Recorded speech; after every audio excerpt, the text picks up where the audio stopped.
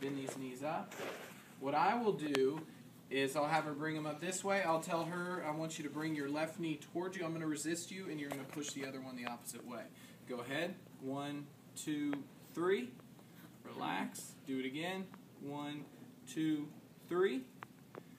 And one more time. One, two, three. Okay?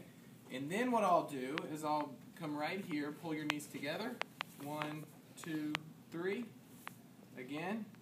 One, two, three. One more time. One, two, three. And then pull apart. One, two, three. Again. One, two, three. And one more time. One, two, three. Okay? And and so in general